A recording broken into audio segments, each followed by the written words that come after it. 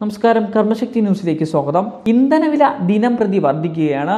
വർദ്ധിക്കുന്ന ഇന്ധനവിലയിൽ പരിഹാരമെന്നോണം ആളുകൾ ഇലക്ട്രിക് വാഹനങ്ങളിലേക്ക് മാറാനുള്ള തയ്യാറെടുപ്പിലുമാണ്.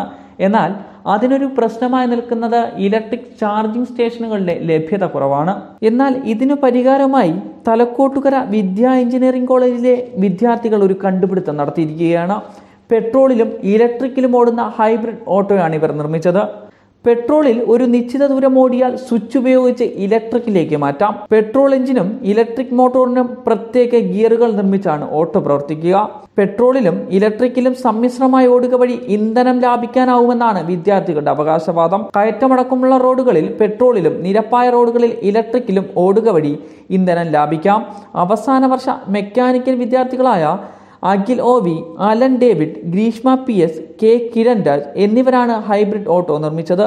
മെക്കാനിക്കൽ വിഭാഗം മേധാവി ഡോക്ടർ എൻ രാമചന്ദ്രന്റെ നേതൃത്വത്തിൽ അസിസ്റ്റന്റ് പ്രൊഫസർ ശരത് ബാബുവാണ് പ്രോജക്ട് ഗൈഡ് ചെയ്തത്. Karmashakti news desk.